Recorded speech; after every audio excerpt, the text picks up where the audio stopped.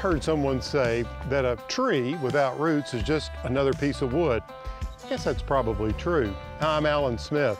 In today's show, I wanted to explore what I consider to be the most important aspect of plants, and really people for that matter, and that's their roots. I feel the same can be said of people.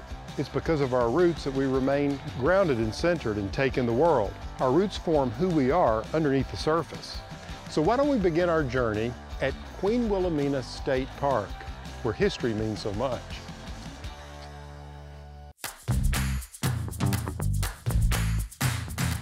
The Queen Wilhelmina Lodge. It's perched up on Rich Mountain, Arkansas's second highest peak. Built to entice railroad passengers in the 1890s, the original structure cost a whopping $100,000 to build, and I'm sure a glorious sight to see for weary passengers. Dutch investors named the inn in honor of Queen Wilhelmina of the Netherlands and kept a reserved suite of rooms for her and hoped she would visit, of which she never did. How does this idea of Queen Wilhelmina, a Dutch queen, play into the name of a park and a lodge? Because that seems so odd out here in western Arkansas. Back in the 1800s, a man by the name of Arthur Stilwell decided he was going to build a railroad south. He started in Kansas City, and when he got to 200 and some miles, he ran out of funding. And oh. there was a depression in the late 1800s, sure. and there was nobody that would fund him. So he remembered some friends over in Holland and he said, I'm going to look them up. And he told his friends here in America, he says, I'm going to get $3 million from those investors. He went to Holland and he got that 3 million and was able to bring it into Mena. And he's the one who decided to name this Queen Wilhelmina Lodge well, as a destination? In honor. The new Netherlands queen was Queen Wilhelmina. And in honor of her, and to get publicity and you know make everybody excited about the place. Yeah, they sure. named it Wilhelmina Inn. The lodge has been through several transformations through the years, but after an extensive renovation, reopened its doors to the public in July of 2015.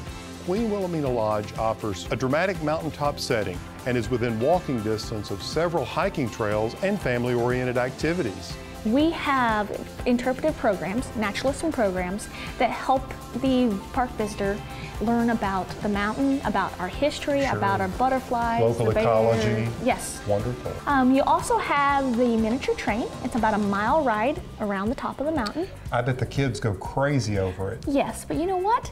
Most of the riders are adults. I had a grandfather tell me, he said he was third generation coming up here, and his grandfather had taken him he was there with his grandkid and his great grandkid. Oh, isn't that great? A legacy trip. Yes. And a le legacy destination.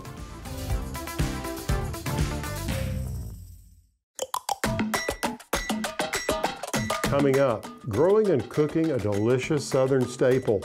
These things have such wonderful flavor. And later, how do you like these apples?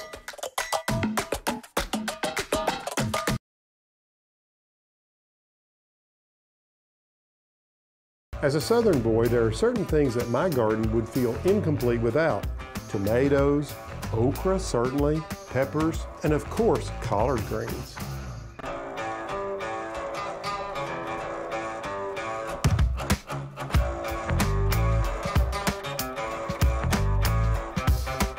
Can you guess the name of this plant here in the vegetable garden? That's a little clue.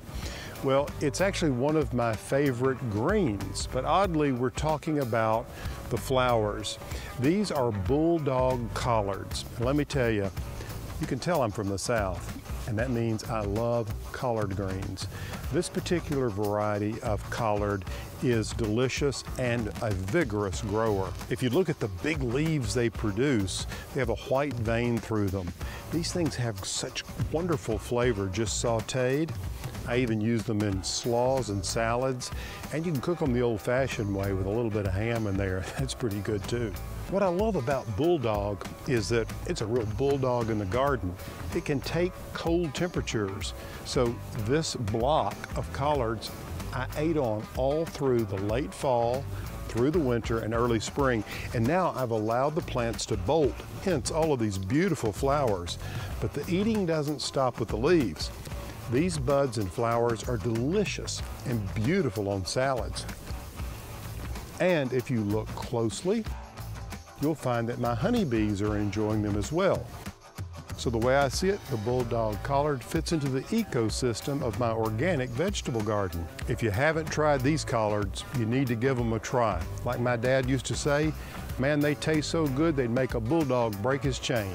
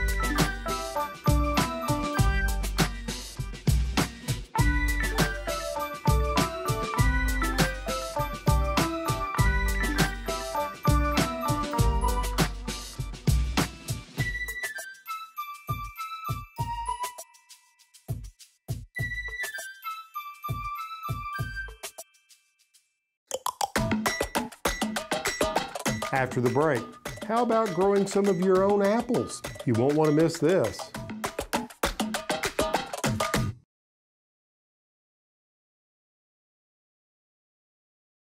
Apple trees are a real joy to have around, but they can be a little tricky to grow. Luckily, my friend Dr. Arlie Powell stopped by to give us some tips on how to get the young trees positioned just right for success in the orchard.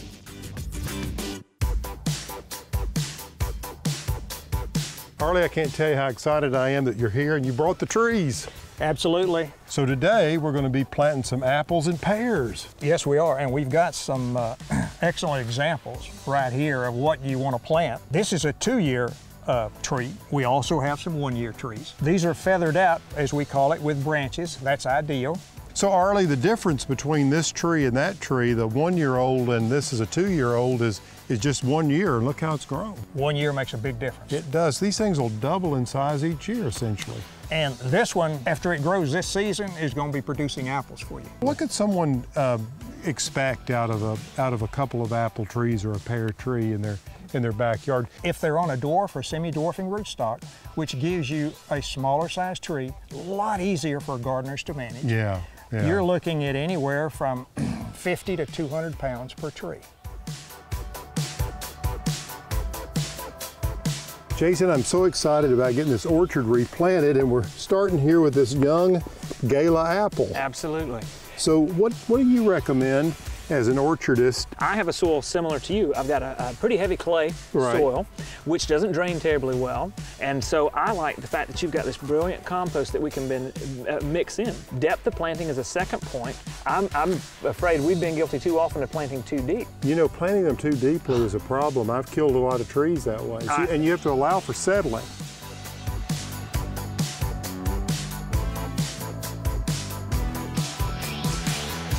Now what we've done here is we took the soil out of the hole, but we mixed 50-50 our homemade compost and the, and the existing soil. And at this point, I usually come in and I can use the opposite side of the shovel and kind of tamp down around it. And we'll come back after tamping this, add some more soil, and then we can water it in deeper. Yeah, the water will really help get those air pockets out. I want to always maintain this level from the top of the pot. Yes. I don't want to get any soil up there. We're going to mulch it later uh, just to help keep moisture That's in right. around the little tree. Now, when do you fertilize, Jason? What do you, what, what do you, what's your technique? Uh, once the tree is bearing fruit mid-season. But with a young tree like this, you're really wanting to make growth. Yeah, I'm not trying to produce any fruit on this little guy. So we can fertilize a little bit heavier. So we'll look at going in once a month. Allen, do you have rabbits or deer? We do, and um, you know that's uh, why I got this cage uh, where we could protect the little guy. You wonder if they know that you're planting. You I know, think they're they're- watching right now. so I just connect these little tines. I Okay. just close the little tines like that. And then that whole trunk and stem is, uh, is protected. Protected, yeah. Of course, the next thing I want to do is I want to stabilize this. That's Yeah. why I have these posts out here uh, because I don't want this tree to knock around. I want it to root in, and by having this this tube, I like this clear plastic tube. Uh, we can put it here on the side, and that'll keep this little guy from getting knocked around. I like that.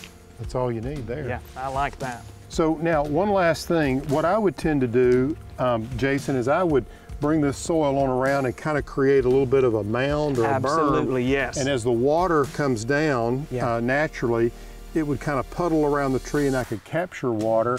And in the summer, that would be good because we've got irrigation out here, but I like catching that natural rainwater. I agree. You know as well as I do, those trees know the difference between rainwater and, and hose water. And because you're on a slope, I like your idea of berming it up higher Yeah, on this, on this side. side, right, to catch it, and then put some mulch around it. Absolutely. Yeah, very good. Well, I think we're off to a good start with these trees. I do too. I really appreciate your help. It's my pleasure. Always great to have you here. Thank you, Allen.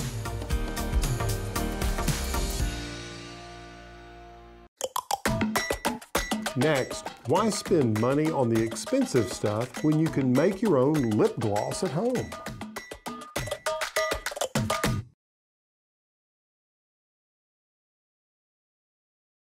Can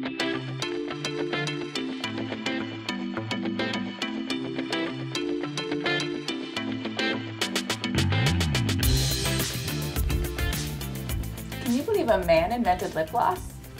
An inventor by the name of Max Factor created this product in the 1930s for the movie industry. It was developed specifically for actresses starring in black and white film. So who's ready to be a star?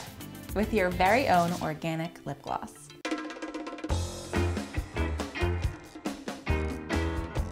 To make this lip gloss, what you need is a small mason jar and a hot water bath simmering in a small saucepan on the stove. Then in the mason jar, you're gonna put two teaspoons of beeswax pastilles, or you can take a grated block of beeswax and do it that way. Then you're gonna add one teaspoon of shea butter, three teaspoons of coconut oil. Then from there, I always like to add a little bit of scent. So this time I used some peppermint essential oil, but you could also use lavender or orange blossom is wonderful, patchouli. Your chance to be creative. Sometimes I like to do a little bit of everything and have a whole variety of lip gloss.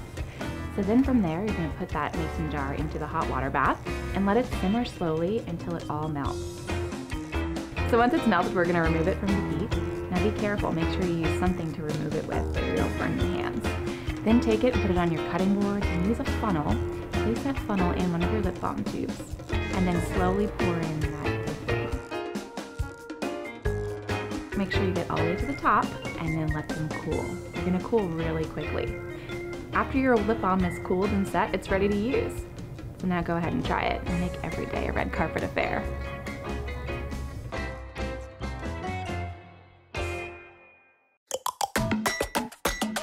Coming up next, so many of us love fresh figs. Let's take a look at multiplying and sharing.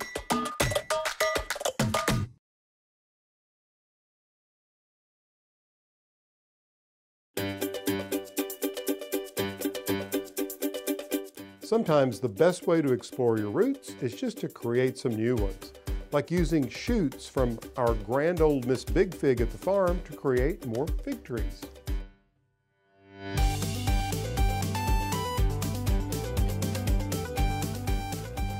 If you know me, you know I'm interested in conserving and preserving things.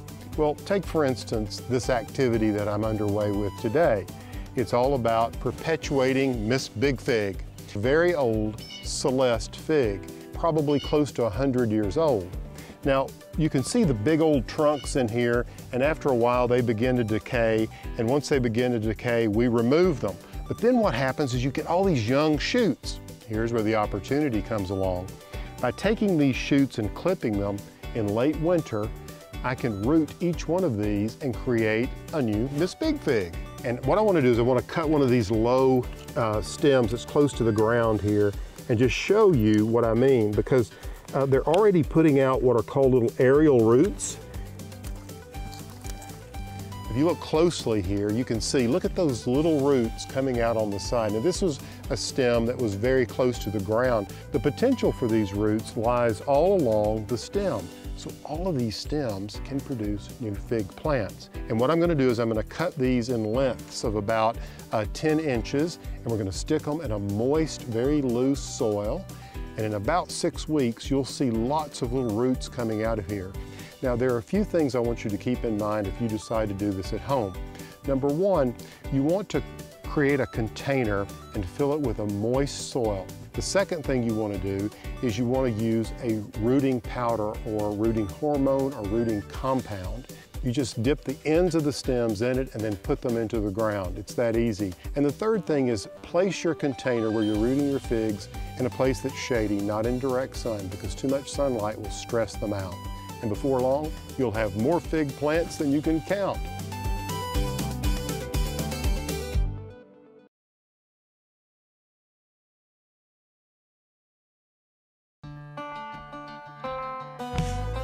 Getting back to your roots can take many forms. Planting a garden, doing something the old-fashioned way, just reflecting on the past. So the next time you're feeling a little nostalgic or old school, let the past inspire you to get creative and do something new. You'll find you really enjoyed it. Until next time, I'm Allen Smith.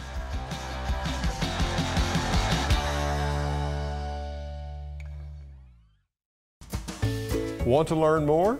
Visit pallensmith.com for delicious recipes, garden tips, blog posts, and our online store.